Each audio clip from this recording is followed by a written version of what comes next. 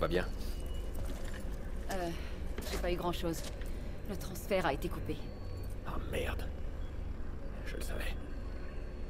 Ok. Va falloir que je trouve un moyen d'entrer tout seul. T'es dingue ou quoi? Même si t'arrives à entrer, on pourra pas le lire. C'est crypté. Et qu'est-ce que tu veux que je fasse? Damien retient Nikki, je l'appelle et je lui dis de la garder? Non, bien sûr que non. J'ai pas dit ça. Je dis juste qu'il se sert de toi. Je sais, et je lui donnerai rien avant de savoir ce qu'il veut vraiment. On peut pas lui faire confiance. Ça, je le sais. Bon allez, on se concentre. Un seul problème à la fois. D'accord? Si j'arrive à récupérer les données, tu pourras les décrypter? Non, j'ai pas le niveau pour ça. C'est... Qui alors? Pourquoi pas l'autre? L'autre cinglé, là... Euh, Tobias. Il bossait ici avant. Ok, commençons par là alors. D'accord. Et cette fois-ci, il va falloir être discret. Je sais être discrète, merci.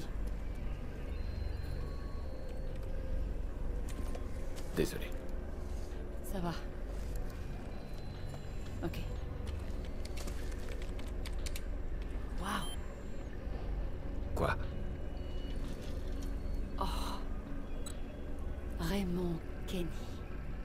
C'est forcément lui. C'est un ingénieur logiciel qui a été engagé pour les débuts du CTOS. C'est lui qui a créé le cryptage. Un créateur se garde toujours un accès secret. Et il peut décrypter ça? Kenny est très très fort. Il a sûrement conçu cette pièce. C'est un génie. Non, non, plutôt une légende. Et je suppose que c'est dur à trouver une légende. Il a complètement disparu. Personne n'a de nouvelles depuis plus d'un an. Il doit se planquer quelque part. Bon, tout le monde a un historique en ligne. On part de là. On chope le dernier emplacement de Kenny et on remonte la source. Ça fait plus d'un an qu'il a disparu. Ça risque d'être long. Voilà. Il a bien réussi à brouiller les pistes. Mais il est passé par le même endroit plusieurs fois. Maintenant, on décortique le tout pour trouver son emplacement. En théorie, oui.